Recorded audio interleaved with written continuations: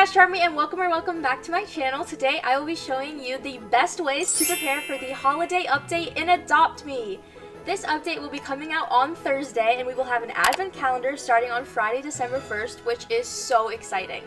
We also have some more info on the update, so I will share it with you now. There will be new toys and petware, which all look super adorable. We also now know of some minigames, which include the classic that has been in every single holiday event, which is Penguin Ice Skating. We all probably know about this, but it's a super, super helpful way to get gingerbread every single Adopt Me day. And now I am so excited because my all-time favorite Adopt Me minigame is back, and that is Pet Rescue. This minigame is so, so much fun because of the team aspect, and I just love it so much. I'm so glad that it's back. There are new pets as well that include the common beluga whale, the rare nutcracker squirrel, and the legendary chocolate chip bat dragon. These are all coming for week one this week.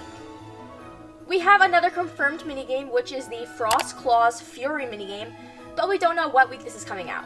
This does remind me of the 2020 Feed the Frost Fury minigame. I'm going to assume that this might be a pet as well, so that would be super duper exciting.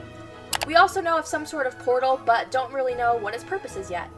As you can tell, they've given us a ton of information with much more still to come, but without further ado, let's get into how to prepare for this update. My first tip is to get your inventory ready.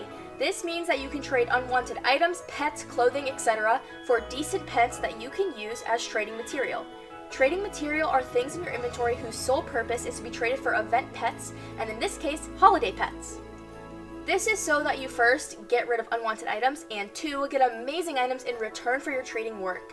Keep in mind that on the first day, trading your material will be super, super hard, so wait about 3 to 4 days after the update comes out when the new pet's value has gone down and you're able to trade them without overpaying for them. Having a lot of this material saved up can help you significantly, especially if you're planning on making any neons or megas of the new pets because gingerbread can sometimes be difficult to save up. My second tip is setting up your ways to grind. A huge part of these events is grinding. It's how you will get 85% of everything in this update. Gingerbread is something that will take time to save up, so it's best to have your methods figured out beforehand. Something I love doing is watching movies and TV shows because, yes, I'm mainly watching something, but I'm also grinding periodically throughout in order to stay productive in-game. Another thing you can do is while being productive in-game, you can be productive in real life. You can clean, organize, do some other things like that, and it makes grinding way less scary. You can also ask your friends to grind with you while calling or FaceTiming to make it more fun as well. You could even make it into a game to see who can collect the most gingerbread.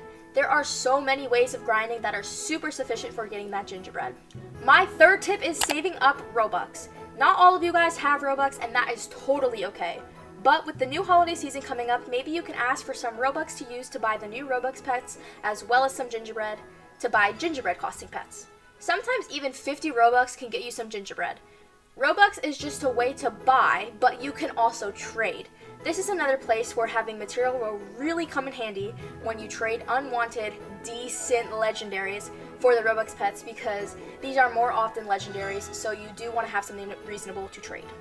My fourth and final tip is to save up gingerbread throughout the event.